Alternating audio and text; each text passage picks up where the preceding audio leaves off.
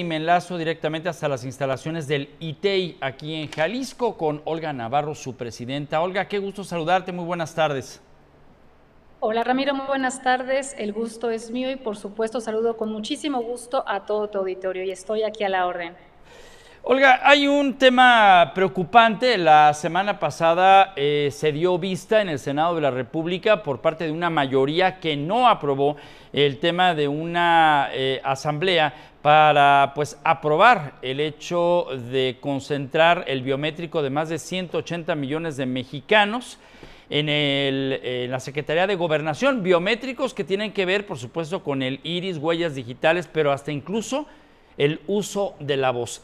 ¿Qué saben ustedes en el ITEI con relación a la transparencia que guarda esta iniciativa y por qué la Secretaría de Gobernación quisiera tener todos los datos, estos específicos que son muy personales? Claro que sí, con mucho gusto. Ramiro, platicamos sobre el tema. Antes que nada, quisiera poner contexto al auditorio por si alguno de los que nos siguen a través de esta transmisión no conoce la materia. Precisamente se trata de una iniciativa que ha sido aprobada en lo general y en lo particular por parte de los diputados y que ahora está revisando precisamente el Senado en materia de registros civiles. Es una ley, como toda la Ley General de Operación de Registros Civiles, que tiene bondades, hay que decirlo porque no, pero son más las preocupaciones que trae consigo esta iniciativa y también de las cuales te quiero eh, platicar. Dos bondades prácticamente que trae esta iniciativa pues tienen que ver con esta necesidad de estandarizar el derecho a ser registrado está contenido en el cuarto constitucional, lo recordamos, el que en cuanto nosotros nacemos podamos ser debidamente registrados como mexicanas, como mexicanos, sin que haya ningún obstáculo para esto. En este sentido, pues es deseable que exista una ley que armonice todos los procesos. También una segunda vertiente positiva de esta ley, toda iniciativa de ley, es que genera un formato único en materia de registro de población. Pero de esta segunda bondad es donde me quiero colgar para hablar precisamente del peligro, las preocupaciones que en el ITEI y en todo el territorio nacional este, revisamos como posibles atentados, como posibles vulneraciones a lo que es el derecho a la privacidad de las personas. Respecto a la pregunta que haces de por qué lo está haciendo el Federal, desconocemos, o los legisladores en primera instancia desconocemos los motivos, y eso es precisamente lo que preocupa, el que no han dejado clara la finalidad el por qué y el para qué van a utilizar datos biométricos en el registro civil. Hay que recordar que nosotros tenemos pues una ley materia, es la Ley General de Protección de Datos Personales en posesión de sujetos obligados, que es la que aplicaría para este análisis, que habla claramente respecto a la finalidad que debe expresarse por parte del responsable de esos datos para poder pedir datos personales y sobre todo sensibles, como lo puede ser un biométrico. La primera preocupación creo que radica en este sentido, tiene que ver con este tratamiento intensivo de datos personales que se va a generar a partir de esta ley de operación de registro civil y que todavía pues no se sabe el cómo van a poder contener en esta megabase de datos que dependerá del Sistema Nacional de Registro Identidad, quién la va a operar, cómo se va a operar, cuál va el tratamiento precisamente de los datos personales, son inquietudes que obviamente pues todavía siguen ahí, sin respuesta. El por qué se están incorporando datos biométricos es lo que más preocupa. Hay que recordar que justamente esta ley de protección de datos personales en posesión de sujetos obligados, en este caso de la Secretaría de Gobernación, nos dice que se piden datos personales únicamente cuando sean verdaderamente necesarios para el ejercicio de las atribuciones o de las funciones del órgano responsable de pedirlos. Aquí creo que abro la pregunta al auditorio, ¿para qué necesitarían, por ejemplo, dijiste muy bien Ramiro, el iris, la pupila, la retina, eh, incluso un dato biométrico se considera, por ejemplo, las venas, la geometría de la mano, la huella dactilar y entre otros más, ¿no? El ADN, por ejemplo. ¿Cuáles de estos datos biométricos son los que va a pedir? Eso no queda claro en la iniciativa que se está presentando, que se está proponiendo en el Senado de la República.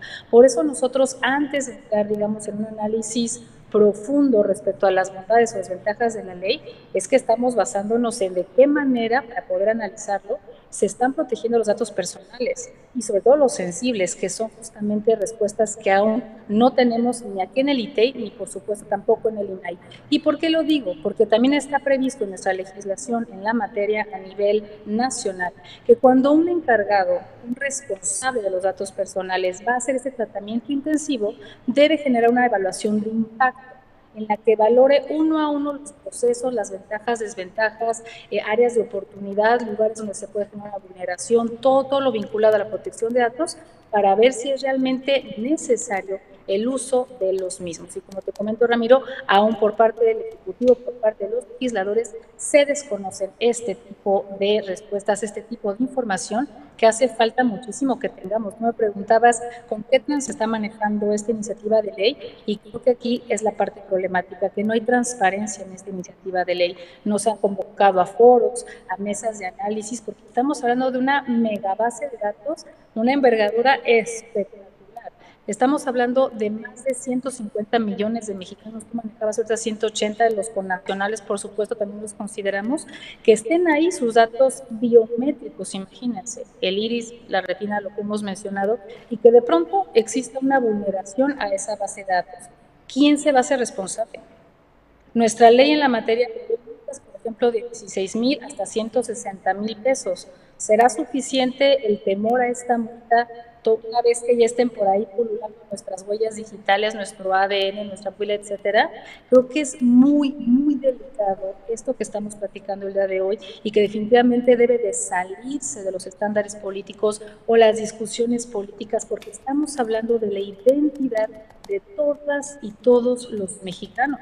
Los datos biométricos hay que recordar que permiten identificar de manera unívoca al titular de esos datos.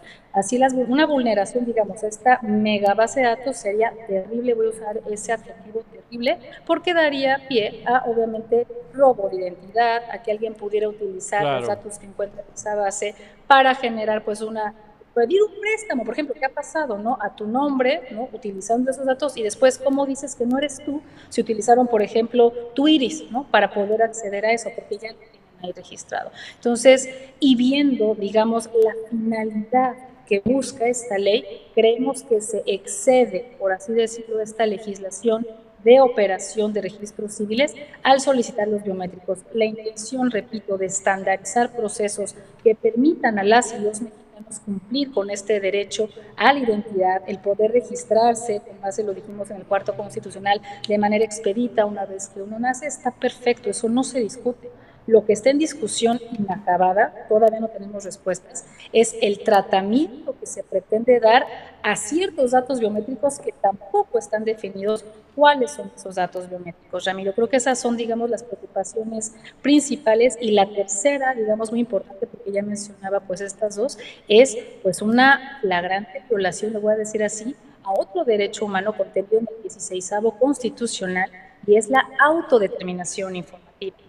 ¿Por qué nos van a obligar a entregar datos biométricos para podernos registrar en el registro civil si nosotros somos los dueños de esos datos? Si nosotros a través de esa autodeterminación informativa decidimos libremente, conscientemente, qué datos voy a permitir que la gente conozca de mi esfera íntima, de mi esfera privada, que son diferentes, íntimo y privado, lo podemos platicar a detalle si gustas, y obviamente después ya esos datos que quiero compartir en la esfera pues pública, ¿Por qué le van a obligar a entregar esos datos biométricos para poderme registrar? Ahí entramos en un conflicto, por supuesto, de derechos. No tendrían por qué obligarnos a hacerlo porque de nueva cuenta hay que recordar que bajo la legislación vigente y tratados internacionales, la autodeterminación informativa me permite elegir a mí como persona qué datos quiero dar a conocer y cuáles no y el obligarme a entregar biométricos para registrarme, pues claramente está poniendo barreras a otro ejercicio de otro derecho. Por eso vemos,